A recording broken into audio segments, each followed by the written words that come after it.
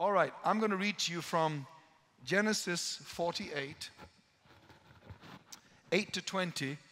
This is a little bit of a longer reading than I normally like to read, but sometimes a longer reading is good, especially if it's a part of Scripture where you have not read for a while, and especially if you want to see what I want to pick out here in the context of how it happened. So we're going to parachute in for a few moments to this episode in Joseph's life. This, by the way, is, it occurred to me, a great halftime message. We're in halftime in 2018, June 2018. This is a great halftime message because this particular moment that we're going to read from in Joseph's life was in his midlife. He's at his literal, numerical, physical half time in his life when we read this story. So bear that in mind as we read this passage today. It says, When Jacob saw the sons of Joseph, he asked, Who are these? They are the sons God has given me here, Joseph said to his father. Then Jacob said, Bring them to me so that I may bless them. Now Jacob's eyes were failing because of old age, and he could hardly see. He was about 137 years old, by the way, at this time, and didn't have Specsavers. You may not know that chain, that a famous chain in Europe that provide glasses. There was no glasses in those days. So Joseph brought his sons close to him, and his father kissed and embraced them. Jacob said to Joseph, I never expected to see you again, and now God has allowed me to see your children too. Then Joseph removed the boys from Jacob's knees and bowed down with his face to the ground. Joseph took both of them, Ephraim on Jacob's left hand and Manasseh towards Jacob's right hand, and brought them close to him. But Jacob reached out his right hand and put it on Ephraim's head, though he was the younger. And crossing his arms, he put his left hand on Manasseh's head, even though Manasseh was the firstborn. Then he blessed Joseph and said, May the God before whom my fathers Abraham and Isaac walked, as God has been my shepherd all my life to this day, the angel who has delivered me from all harm, may he bless these boys. May they be called by my name and the names of my fathers Abraham and Isaac, and may they increase greatly upon the earth. When Joseph saw his father placing his right hand on Ephraim's head, he was displeased. So he took hold of his father's hand to move it from Ephraim's head to Manasseh's head.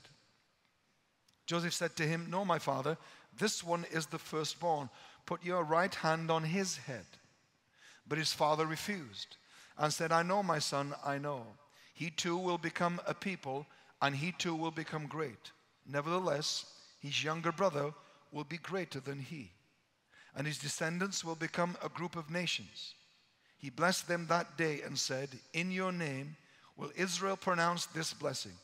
May God make you like Ephraim and Manasseh. So he put Ephraim ahead of Manasseh. The title of this message is the Adjustment Bureau. The Adjustment Bureau, Heaven's Alteration Service. This title I got from watching a movie called this some years ago.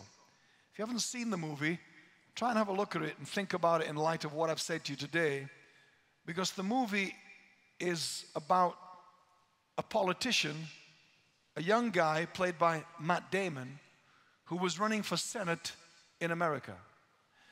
And he is up and coming, he's very popular, and he's giving a speech at a hotel on his way to the Senate. Just before the speech, he goes to the bathroom in the hotel, and in the gents' bathroom in the hotel is a girl called Elise, played by Emily Blunt. She's hiding in the men's toilets because she gate crashed a party and the hotel, the hotel security are chasing her.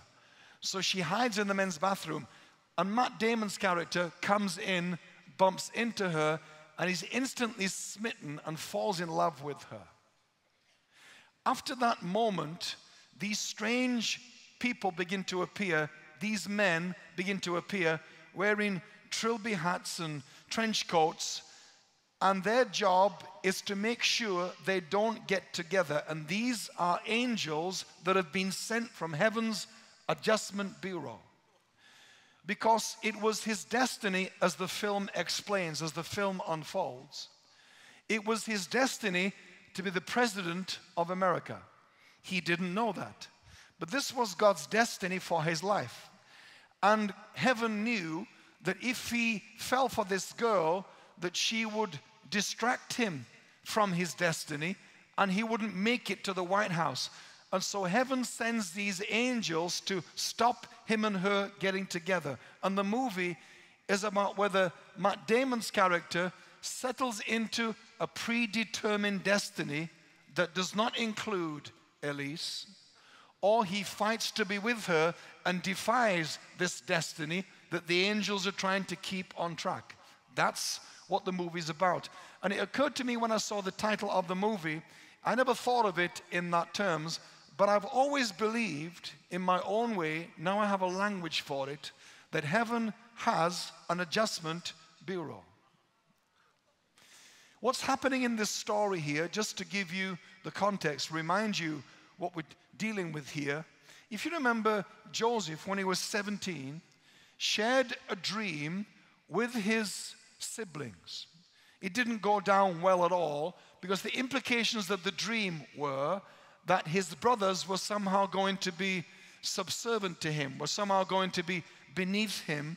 And the dream somehow made it sound like he was going to be in charge of them, in authority over them at some point in life. And of course, siblings never like a younger sibling telling them that. He was already the favorite child of his father, Jacob. And Jacob, to demonstrate how he preferred him to the other children, bought him a very expensive dream coat. It's, we call it now, multicolored dream coat, we call it now, but it was a very expensive very carefully tailored garment, and Jacob gave it to Joseph because he was his favorite son. So he didn't hide how much he favored one over the other. Not very good parenting. So his brothers hated him already for that reason. Then, on top of that, they hated him even more when he tells them the dream. A few days later, they were out in the desert herding sheep and they plotted to kill Joseph, to get rid of him. At the last minute, they changed their mind about killing him, instead, threw him into a pit in the ground where they knew he'd die anyway. And they got an animal's blood, put it on his expensive coat that I just mentioned, took it back to Jacob, and said to Jacob, A wild animal killed him. Jacob grieved over Joseph all his life, of course, convinced that he was dead, as were his brothers, because they knew he would die in the pit in the ground where they left him. While he was in that pit in the ground, a caravan came by of travelers and they got him out of the pit and they human trafficked him, we'd call it now. They sold him into slavery in Egypt. He was bought by a man called Potiphar, who was senior in the Egyptian military. And he began to work as the steward, the, the chief steward, the, the manager of Potiphar's house. And in Potiphar's house, he was loved, he was brilliant at what he did. Then one day something went wrong. Potiphar's wife accused Joseph of trying to rape her. He was innocent of that, but he still finished up in prison. And so Potiphar had to send him to prison. And it says in scripture, he went to the prison that was especially reserved for people that were in, in the king's employment and, and, and the king's prisoners were sent there. So you were there if you displeased the king or any of the king's team and staff that you worked for them, as did Joseph with the general Potiphar. You went to the king's prison. Now, let me just say before I go any further, in my opinion, what makes a movie outstanding and what makes a movie average is not the plot, but the subplot. What makes a great movie or a great book or a great story is not the plot you can see, it's the subplot you can't see. And let me also say, when we read scripture, we can't really appreciate the suffering, the loneliness, the agony, the discouragement, the depression that the Bible characters went through because we read scripture from completion. In other words, we know how it ends. And so, to remind you this morning, you do know, don't you, that the people in the Bible did not know they were in the Bible. It seems an obvious thing to say to you, but it's not because I think we think that Joseph knows it ends well because we know it ends well. I think we assume that the people in the Bible were kind of playing and acting out some part as if they knew it all ends well. Joseph had no idea that this would end well, no more than many of you here this morning know that what you're going through will end well. And so we read the Bible retrospectively, which gives us rose colored spectacles, as it were. And so we have to pretend we don't know it ends well. And we have to put ourselves in the shoes of Joseph, who is going through the worst nightmare of his life. And so Joseph is now in the king's prison. What we now realize is that Joseph being in the king's prison is all part of God's subplot. When God writes the story of your life, you know, He writes it before you're born. Psalm 139 tells us all the days ordained for us were written into God's book before one of them came to be. So God, God wrote the story of your life before you were born. And what God does, He starts at the end of your life and He works backwards. That's why when God enters your present, He always enters your present from your future, never from your past. And so God writes your life from the end backwards, and God starts with the subplot. And the, the, the, the sometimes the, the, the pressure that we're under in life, the sense of confusion we have in life, the dichotomy we feel in life, is that our head is involved in the plot we can see, but your soul is involved in a subplot you can't see and don't understand. And that agony of seeing something, but it makes no sense because you can't see the something it's rooted in, is hugely frustrating in life. Because destiny cannot be understood unless you're looking back on it. You look back on your life, don't you, and think, ah, now I understand what that meant. Now I understand why that had to happen. But you don't know that at the time no more than Joseph did. So, him getting to the king's prison was part of the subplot. Because if he hadn't gone to the king's prison, he wouldn't have met the cupbearer who was close to Pharaoh. And this cupbearer's role in his life becomes strategic. If he'd have gone to the normal prison, the cupbearer wouldn't have been there. And the relationship he built with the cupbearer would not have happened. And the relationship with the cupbearer was the key to him getting released from prison later on. So he languishes in jail, perhaps for 10 years or more. And then one day, if you remember, Pharaoh has a dream that none of his counselors, his spiritual advisors, can answer. Pharaoh knows the dream is troubling, and so he wants to know what it means. And because no one can help him, the cupbearer says to Pharaoh, I am reminded today of a guy that I'd forgotten about. His name is Joseph. I was in prison with him and he's a genius.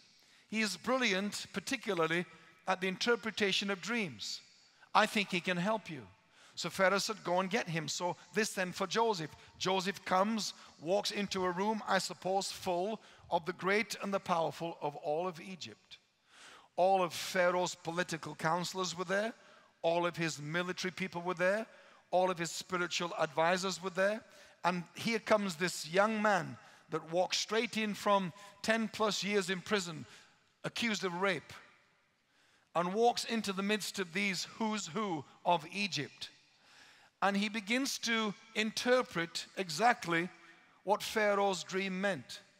And he said, When you saw the seven fat cows in your dream, it was forecasting seven years are coming in this country of massive boom, of flourishing, of great economy, of massive growth in the crops. It's going to be seven years of plenty, seven years of blessing.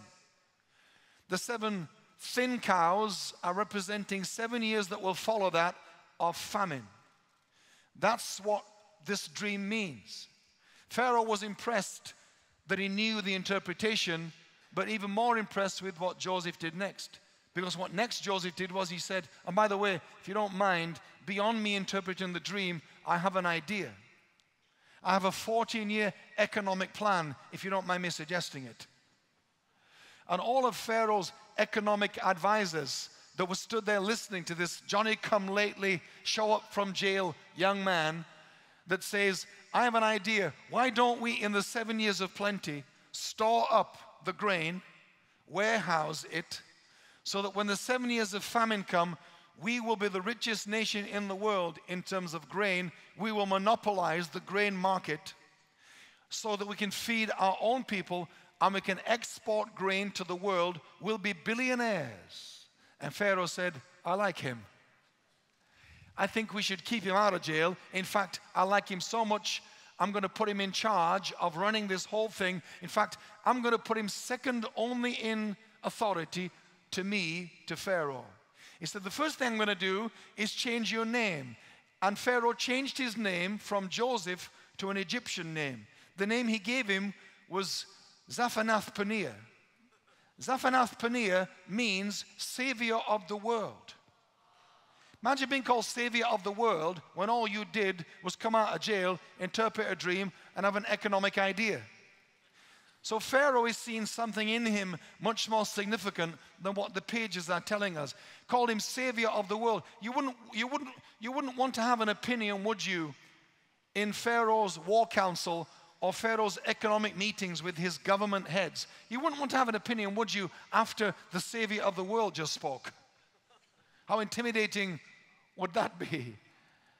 Not only did Pharaoh change his name, he said, I'm going to give you a beautiful girl for your wife. And Pharaoh gives him the high priest's daughter, who was a babe.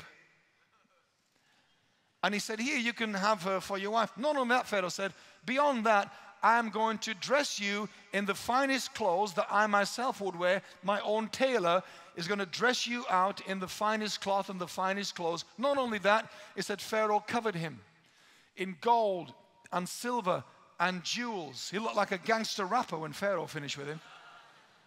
He was dripping with gold and silver and beautiful clothing, and he had the babe. And not only that, Pharaoh said, I'm also going to give you a beautiful vehicle. I'm going to give you one of my own chariots, and it's going to be pulled by horses from my own stable. So he gets a pimped out chariot, pimp your ride, he has horses from Pharaoh's own stable. Not only that, Pharaoh said, and I'm going to have 30 men that whenever you're riding in your chariot through town, 30 men will run ahead of you on foot, shouting, Make way, make way. Joseph the man is coming through. A bit like Kim Jong un's guys that run alongside his limo. Uh, he, wasn't the, he wasn't the first to think of that. Pharaoh was. So Joseph's fortunes talk about changing drastically, dramatically overnight. Years later is where we came to. Years later, now they're in the seven years of famine, maybe two or three years in. Joseph's own family are starving. And Jacob sends his sons down to Egypt, who is the only nation that has grain. Joseph's brothers come into the place where the grain is being distributed and sold, and Joseph's in the room. He instantly recognizes his brothers, but of course they don't recognize him because now he walks like an Egyptian. You're welcome. So they don't know who he is. You would, anyway, between 17 and maybe late 40s, he is now. Changes would be enough to make it hard to recognize someone without him also dressing like and behaving like an Egyptian, and of course, they all thought he was dead anyway. On the second or third occasion of them coming back for grain, Joseph can't bear anymore to not tell them who he is. So he asks all the Egyptian staff to leave the room and he reveals his identity to his brothers. And the moment he says to them, I am Joseph, your brother, they fall on the floor, terrified, because now they believe payback is about to happen. Now they believe that Joseph, who now has the power as the dream at 17 years old forecast, the dream that he told them, is now a living reality in this room. Now they're literally bowing down on the ground to him as he said they would when he was 17. None of them knew it would be like this. And they were convinced that their, their lives were going to be taken from them. Instead, Joseph said, No, no, no, don't, don't bow on the ground. I'm not angry. And he begins to tell them how he viewed his life. It's the first time we ever see how Joseph viewed his life. And he said, You meant this for evil, but God has used it for good. He begins to tell them how God has used him in Egypt, how he's come to a place of prominence so that he can now provide for the world and provide for his family. And so he asks, Is my father Jacob still alive? They say, Yes. He said, You must go and bring my father here. I must see him. And so they go and get Jacob. So Jacob comes, and Jacob comes into Joseph's home, and Joseph brings the two boys to meet their grandfather. And Joseph said, I never dreamed I'd see you again, let alone I would, I would be able to bring my two children, your two grandchildren, to see you. And Joseph is so happy to see his father, as is Jacob to see this lost son that he thought was dead. Then the two boys come. Jacob's heart must have just melted at the, at the possibility of even seeing Joseph, not just these two beautiful boys. Now, if at this point I can have my two sons up here so I can demonstrate to you what's going on here, I've arranged two sons this morning and two seats for them to sit on. Where are they coming from? They're behaving like ninjas. These are my two boys. Yes. Maybe you can just put your two stools here, boys. These are my two boys. Very proud of these two boys. Behave yourselves today, don't be naughty. Come and sit down facing the people. So, what Joseph does is he, he puts his two boys, Manasseh and Ephraim, in front of Jacob, his father. Now, he arranges them so that all Jacob has to do is put his hands down on the boy's head.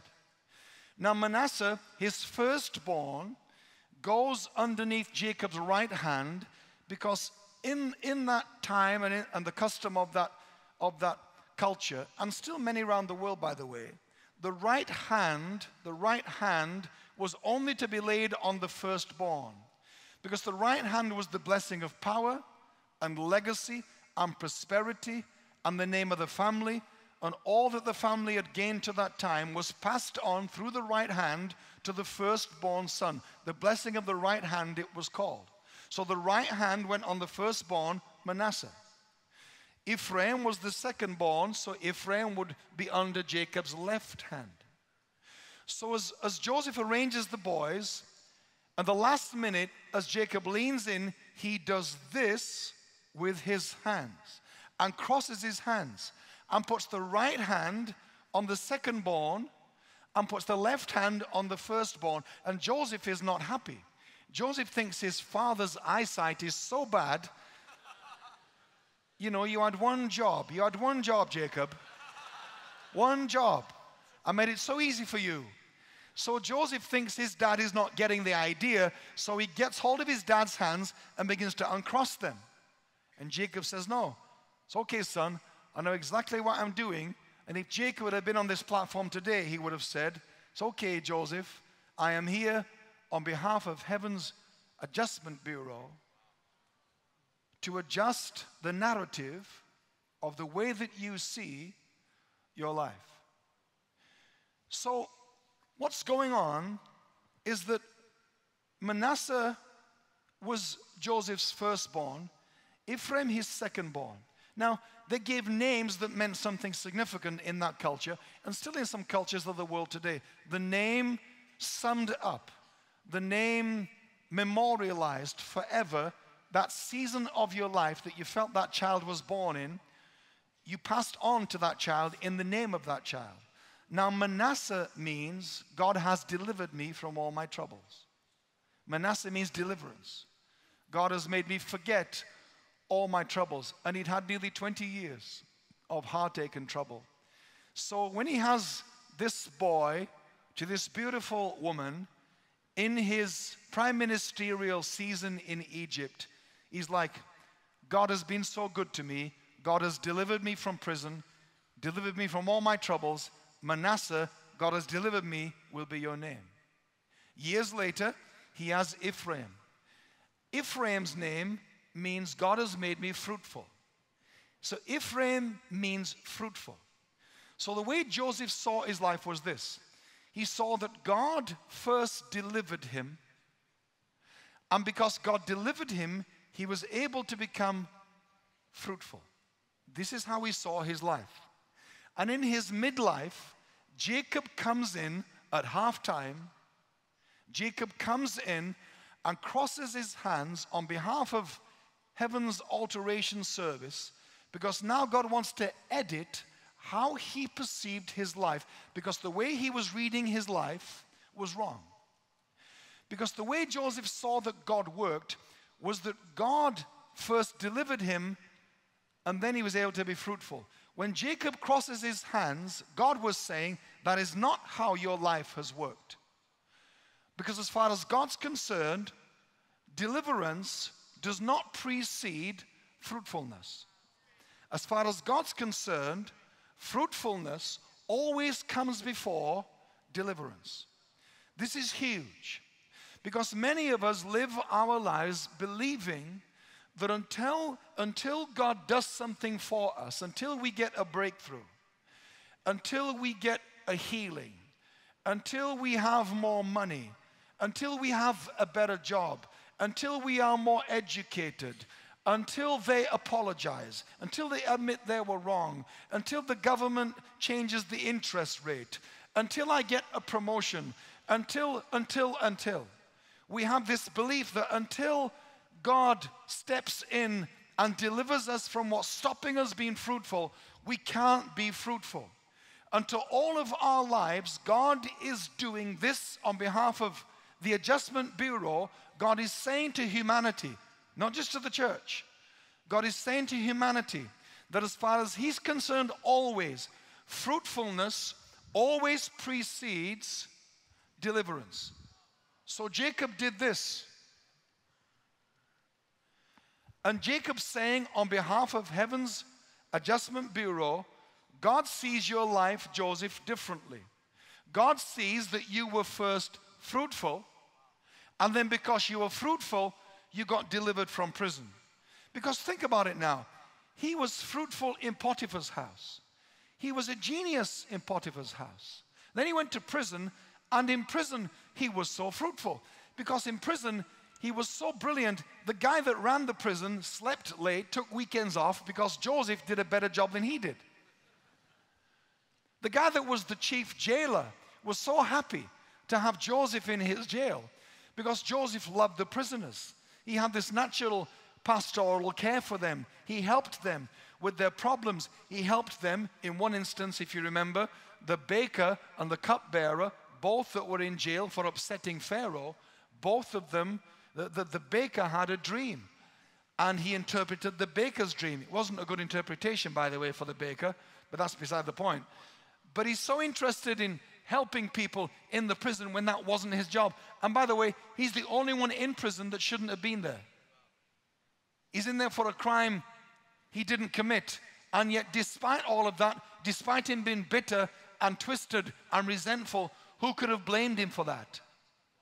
He didn't. Instead, he prospered and he was fruitful in prison. And his fruitfulness and his happiness and his serving of the people in the prison is what got him brought to the attention of Pharaoh. Had he not have helped the cupbearer with a difficult time in his life, the cupbearer would never have remembered him to Pharaoh. So it was his fruitfulness in prison that got him sent for to come out of prison to come to Pharaoh. And he'd forgotten that. And you forget that. You think that you got where you got because God delivered you. I want you to retrack your life. Because if anybody was if anybody was going to intervene in this narrative about wrongly naming your sons, Jacob was the best one. Because Jacob all of his life suffered by being the second born in his own mind.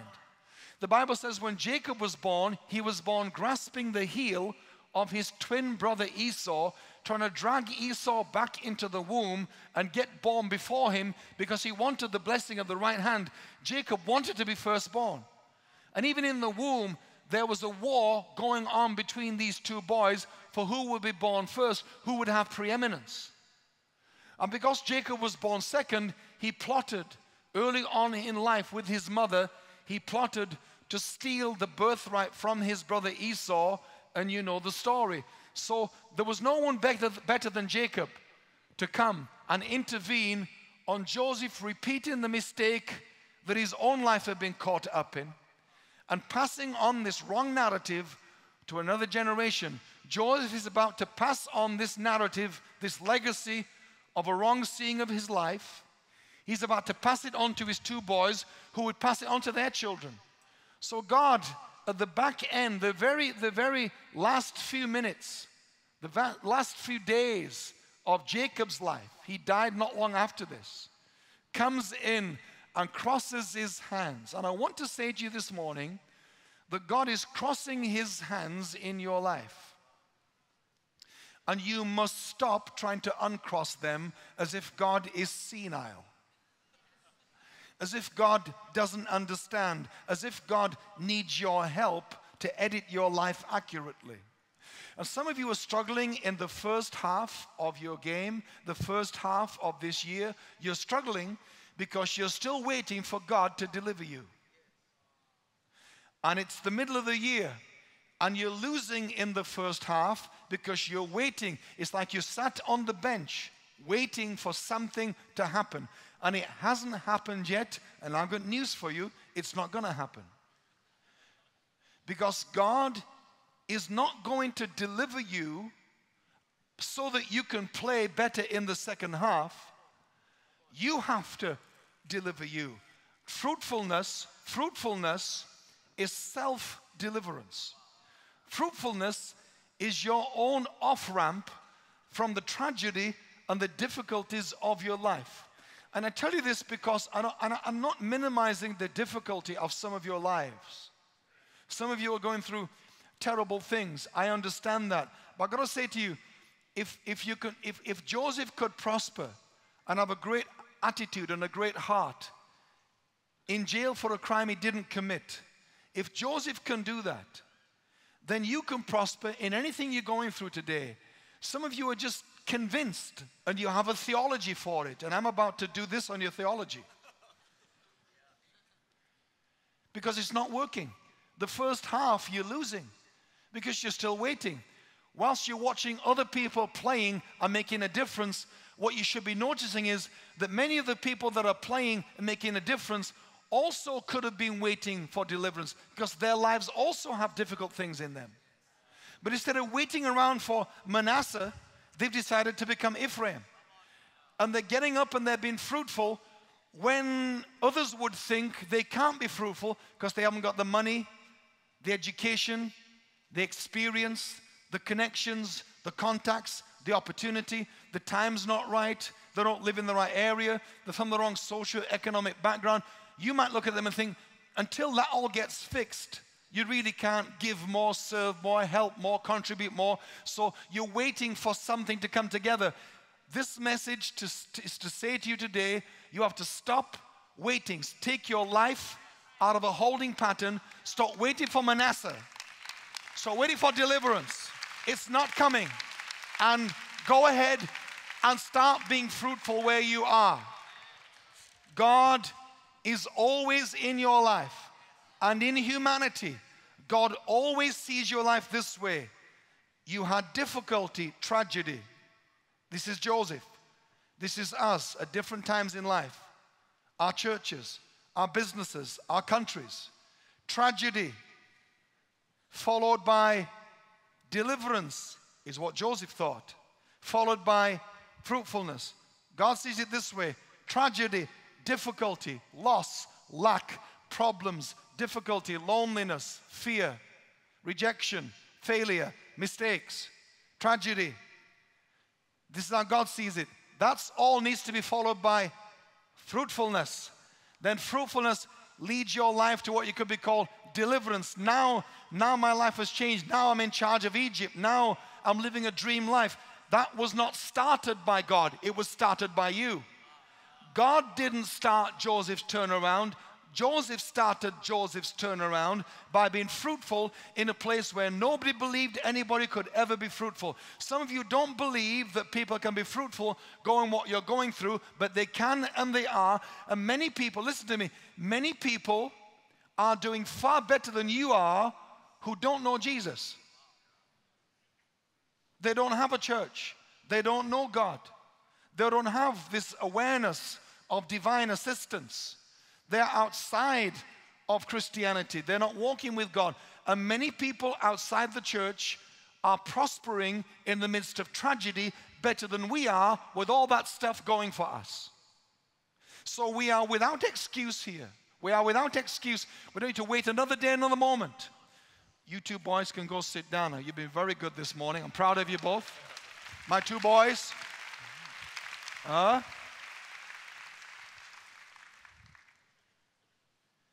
Years ago,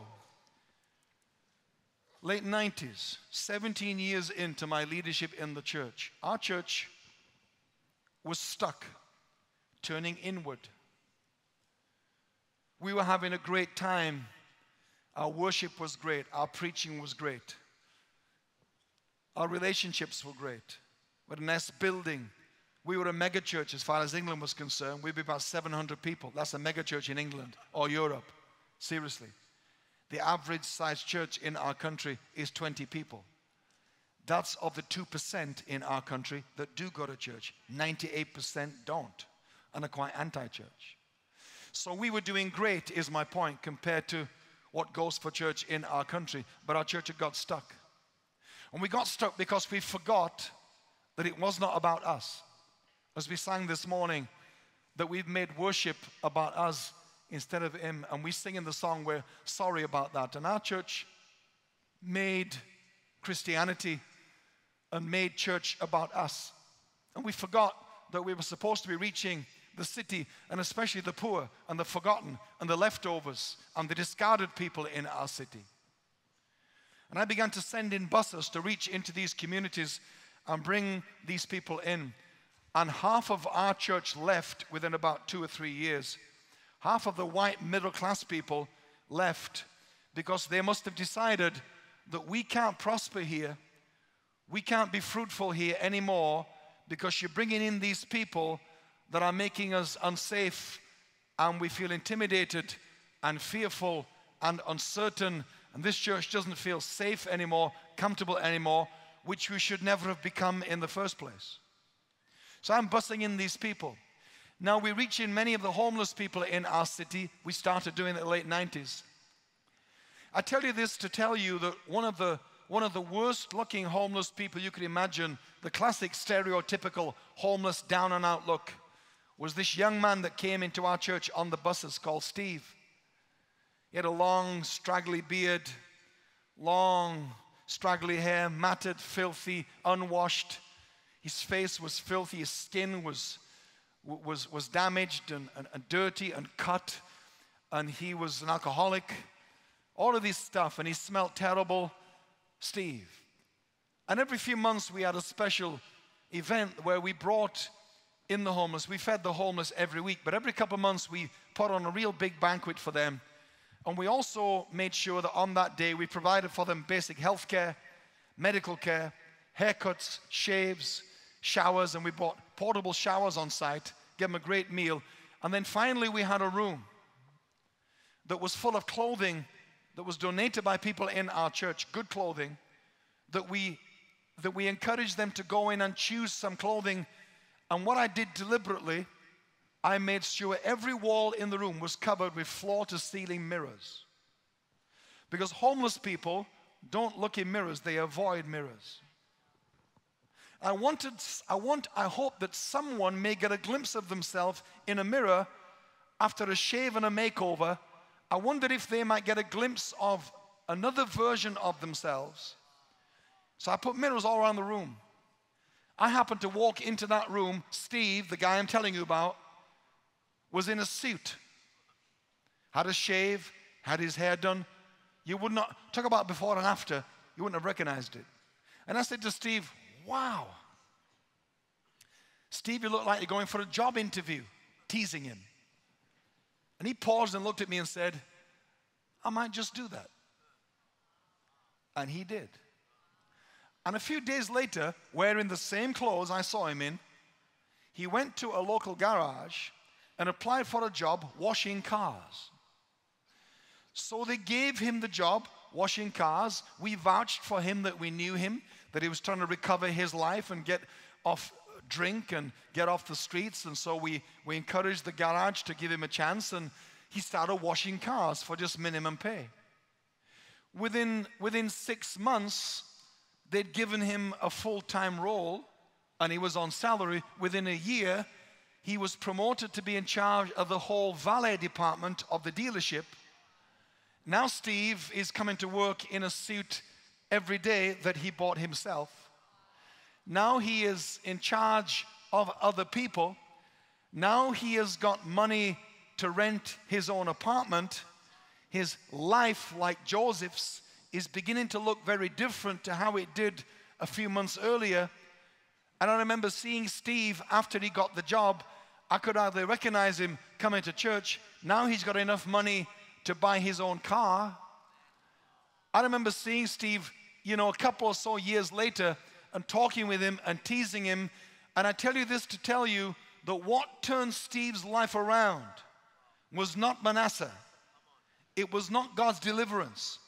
It was Steve decided that day, I am going to do something to take my life out of where I've got stuck. I am going to be fruitful. He decided to apply for a job, to change his life, and to be fruitful. And,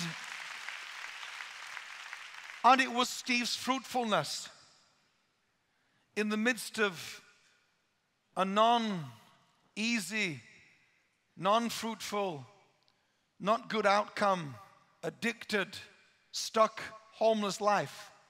In the midst of that, he decided, I'm going to go and apply for a job, despite all the fears he must have had of rejection. He decided to go and take a chance. It was that moment, that day, that his life turned around and yours too. And I remember saying to Steve years later, you know, if you hadn't that day said to me, I just might do that when I teased you. If you hadn't said, I might do that, then you went to do it, you'd still be homeless, still on the street. Something that day occurred to you when you saw yourself in that mirror. You saw another version of you, and new possibilities came to your mind, and you decided that day that you were going to be fruitful, and your fruitfulness is what triggered what came next. So is yours. Our family have gone through a tragedy this last 18 months. A week before Christmas 2017, our youngest grandchild, a little girl called Harlow, she was just one years old, was diagnosed with cancer. We're now 18 months into the, the regime of treatment, the chemotherapy, the drugs, the steroids. It has been very difficult for us all, as it is for some of you that are battling similar issues. But I have watched my daughter, her mom, my youngest daughter Esther, and her dad Mitchell, I have watched them step up and become like superhumans in the way that they have loved and parented and taken on that difficulty. My daughter Esther, in the midst of that, it's like your life was picked up, put in a blender, and someone handed it back to you saying, figure that out. That's what happens when you get news of that kind. My daughter has stepped up. My daughter at school was terrible. My daughter Esther has a terrible memory. She can't remember anything. She forgets where her shoes are all the time, still. But she has got a forensic memory for medications, dosages, names of the medicine. So I've watched her speaking to the medical staff. They're so amazed at how much she knows, like she's a doctor herself. And she has stepped up and she has become such a source of strength and encouragement to other parents in there who are battling the same thing but are not doing as well as she is. She has decided to be fruitful in the midst of her tragedy. She's decided to give something back to other parents that are in the same situation as she is. And I honestly believe that her fruitfulness, that their decision as parents to do this well, to love that child, and to love other people that are in their circle of difficulty, I honestly believe their decision to be fruitful and to be a blessing and to make a difference and to add value to other people. Honestly believe that is the key to why little Harlow now is doing so well. It's not just the medicines that are the reason because other kids are on the same medicines that are not doing so well. I don't know physiology is different for all the kids. But I believe that you stepping up in the midst of your tragedy, because this is very close to home for us, as I'm telling you, that we could have, we could have curled up and said, well, like the Israelites did in captivity in Babylon. Psalm says that they hung their harps in the willow tree, saying, We can't sing the Lord's songs. We can't sing, we can't sing Hillsong. We can't sing City Harvest songs. We can't sing our songs because we are in captivity in Babylon. That was their mentality. So God sent Jeremiah to say to them, Hang on a minute, do not have that mentality. Jeremiah went to tell them that in this place of difficulty, in this place of confinement, in this captivity, God sent me to say to you, settle down, build houses, farm, plant crops, have children, get married, have grandchildren. Because God said to them, if you prosper here, then the whole community will prosper. So God sent Jeremiah to say to the captives, stop waiting for the 70 years to be over when you get to go back to Jerusalem that you must be prosperous and successful even in the midst of captivity in Babylon.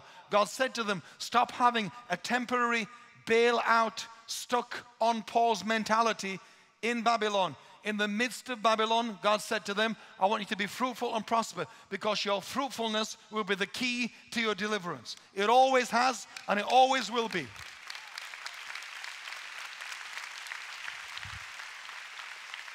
So, on behalf this morning of Heaven's Adjustment Bureau, I am coming to you and I am telling you that God is doing this to your life. And you must stop telling God he's got it wrong and stop uncrossing his arms. He knows exactly what he's doing. Fruitfulness always precedes deliverance. Fruitfulness, then deliverance. Fruitfulness, then change. Fruitfulness, then progress. Fruitfulness, then prosperity. Fruitfulness, then turnaround. Fruitfulness, then breakthrough. That is how your life will go.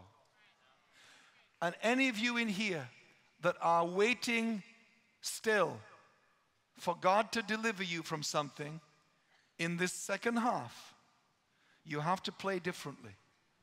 In this second half, you got to come off the bench in your mind and start waiting for divine intervention and start being fruitful in the midst of the place where you're telling yourself, God can't use me. I can't make a difference. I can't be a player. I'm waiting for something. No, no, no, no want you all to go home today when you're on your own, because people that weren't here won't understand this, and in a mirror, do this. It's not the X factor. Or you know what? Maybe it is. Do this. For the next few days, physically, some of you especially, for the next few days, physically, every morning, several times in the day, do this. Physically do this posture to remind yourself fruitfulness comes before deliverance. Remind yourself, I am not waiting for God, God is waiting for me. Let's stand together. Come on.